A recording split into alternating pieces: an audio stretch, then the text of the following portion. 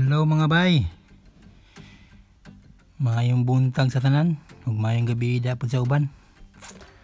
Ang topic nato karon na bahin ni sa sili.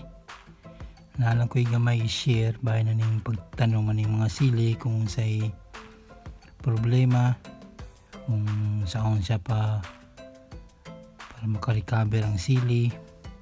Ana ra gud ginagmay ra gud niya kung naibawan puloy ako lang i-share sa inyo. Uh, kini lang i-share nako uh, bahin lang ni sa mga container gardening. Um, organic ba? Kay lahi man tong pamaagi sa mga itanom nimo sa open area pwede pud sa container pero mogamit ka og mga commercial na fertilizer. Kini nga to organic tapos nasa paso ang una na kong i-share sa inyo ha, kung gusto ninyo makabunga og dagan ninyong sili, dapat makabalo mo kung unsa na variety ang inyong sili. Kay di man nato ibase kung unsa kadako ang paso ng atong tanuman. Kay lahi-lahi mo ng sili. Ang sili na gagmay, na dagko, na tag-as, pati po ang iyang punuan. Napoy gagmay na punuan. Napoy uban dagko kay sag punuan. Mura na po sag saluyot kadagko ang punuan niya. Mo magabasi bud nato na sa container na inyong tuslukan sa inyong mga seedling. Pero kung wa mo kabalo sa mga variety sa sili kasi para na ako nagapalit lang ko sa tindahan. Tapos akong patubuon di ba? Wata kabalon sa nabalati na sili. Na ano say para sa kuha mo gamit lang ko at least mga minimum na 15 liters. Okay na yon pero meron ding iba na medyo malalaki. Ginagamitan ko siya ng 20 liters 25 liters. Kini mo niya ako mga compost ang mixture ni wala na may mixture mixture ni. Basta butang lang ako tanan. Halo-halo na ako pero tulon ni upat ni kabuk daon sa kamunggay balas ng disyerto o pating soil o naigamay na eggshell. Gina pabulok sa akong eggshell daan niya bago na ko tanuman para mapakinabangan dayon ba? Kay kanang eggshell kuhan mago na siya ginatawag na lang slow release fertilizer.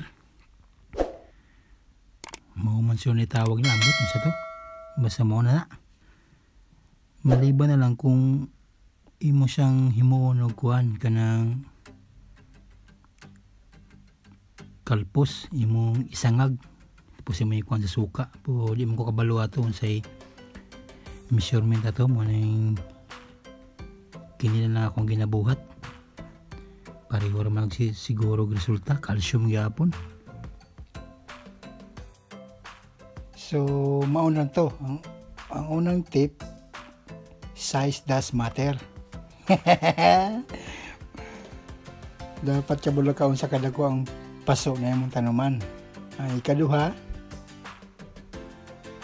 pag nakatanom sa paso, mataas ang tsansa na makuhaan siya ba, magkulang siya sa calcium.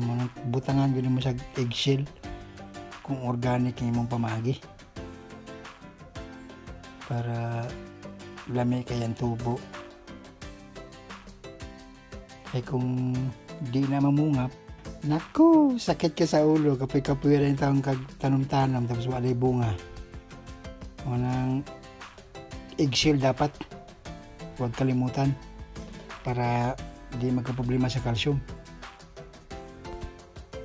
Kini tanawan ninyo ning kwan nagapon siya mga igsil sa taas kinabudburan gyapon ako siya. Kay katong gibutang nimo sa ilalo mahurot magito kadugayan manang butangan gyapon nimo sa taas continuous ang imong pagbutang ba para mahurot tong nasa sulod sa ilalo uh, napay reserba sa taas.